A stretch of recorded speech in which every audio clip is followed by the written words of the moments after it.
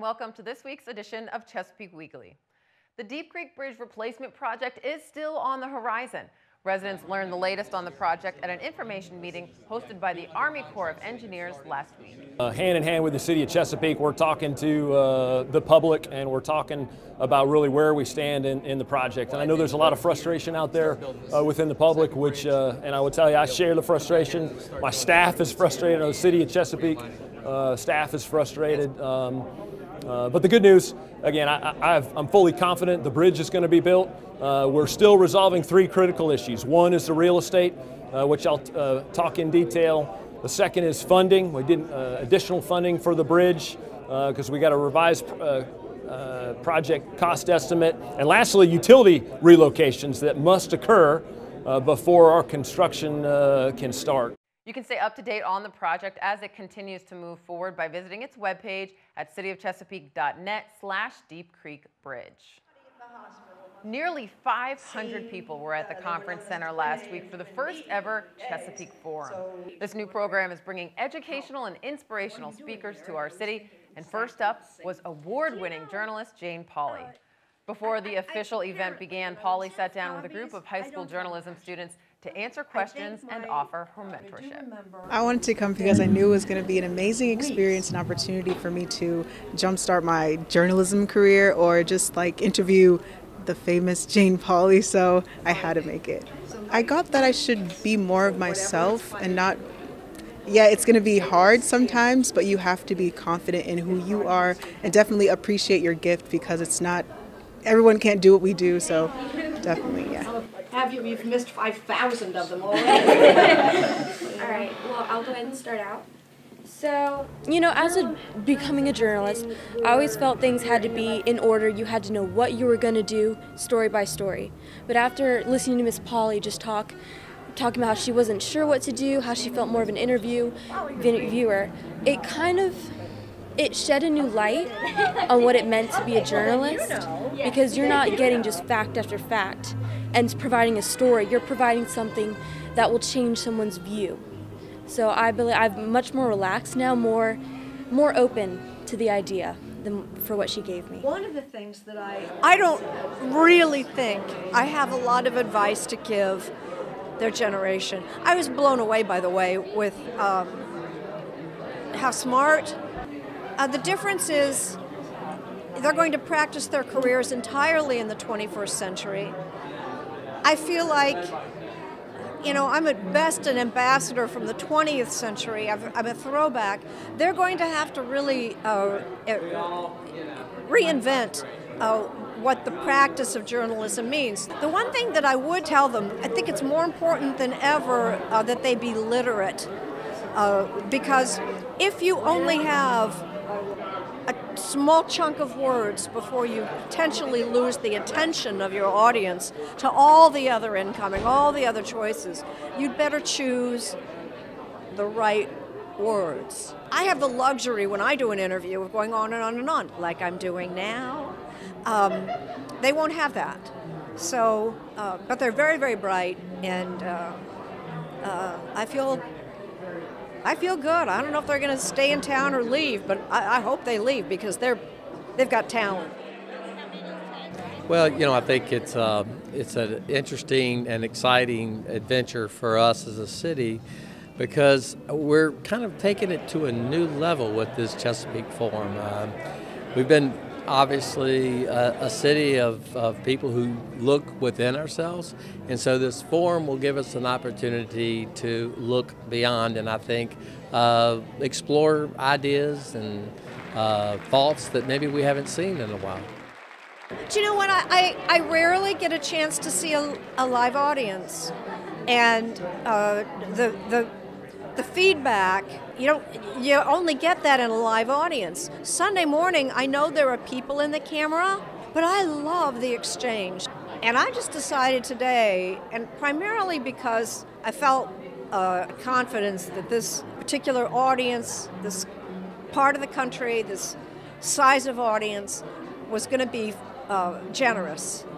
And that they allow me uh, to tell them some stories to lose my way, find it back, end up somewhere I didn't intend to go. We'll all be surprised. It's not going to be a, a, a, perfectly choreographed, and it's not going to be the speech I intended to deliver when I got on the plane this morning. Um, and I, and it's because I, I see these people. I see people that I know I can do that. That was such a cool opportunity. She was truly an incredible way to start off the Chesapeake Forum. The series continues on March 3rd with former NASA astronaut Mae Jemison, the first woman of color in the world to go into space. Get your tickets now at thechesapeakeforum.org. Uh, Drive Safe Hampton Roads recently honored people from around the region who are dedicated to improving traffic safety. The John T. Hanna Award ceremony featured two winners from Chesapeake. One was Officer Ken Bird from the police department. Take a look. So impaired driving uh, is one of the categories that Drive Safe does, does look for. Um, I really think that, you know, they, they look for somebody who contributes to a good cause, who, who goes out there and um, not only takes the impaired drivers off the roadway, but tries to go beyond and, and educate, whether it be other officers to better get impaired drivers off the roadway or uh, juveniles in high schools as a part of a driver's ed program, uh, or even just teaching and talking to civilians at like civic league meetings and stuff, um, trying to really hammer home how easy it is to get to a .08, which is that legal, you know, that legal limit. It, is so easy to get there.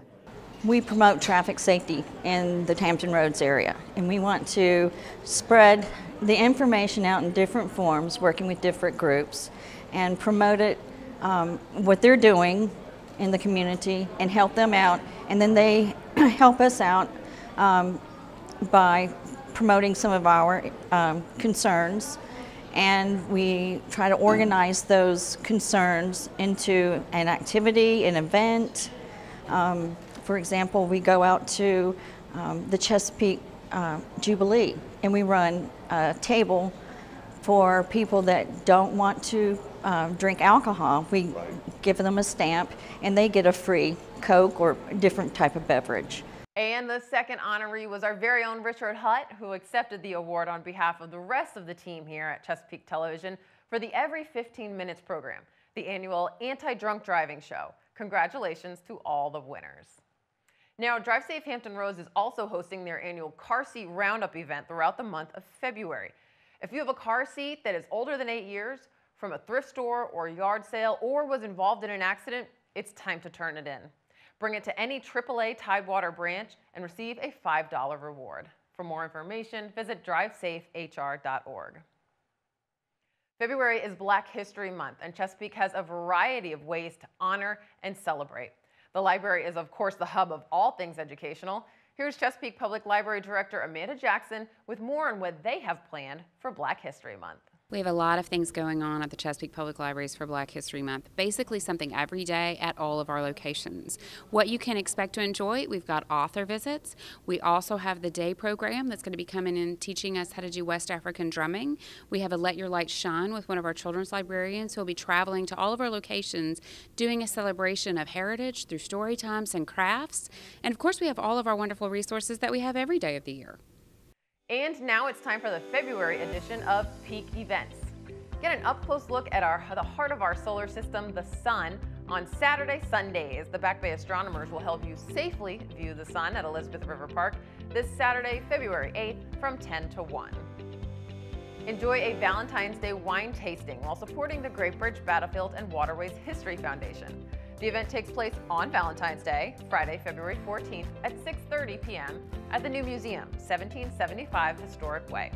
Get your tickets and learn more about the event at gbbattlefield.org. The Great Backyard Bird Count Walk is coming up on Saturday, February 15th. The worldwide effort to identify the distribution of birds takes place every February. Meet at the Great Bridge Lock Park at 10 a.m. and bring your own binoculars. The monthly Skywatch at Northwest River Park event is coming up on Saturday, February 18th from 5 to 11 p.m. It's a great opportunity for aspiring astronomers to explore the night sky with the help of the Back Bay amateur astronomers. See planets, star clusters, nebula, and galaxies. You'll also get a quick 101 in how to use a telescope. The event is weather dependent, so call 421-7151 to confirm that it's taking place. Join the Chesapeake Master Gardeners to learn all about bees and to build your own mason bee house on Saturday, February 22nd at 10 a.m.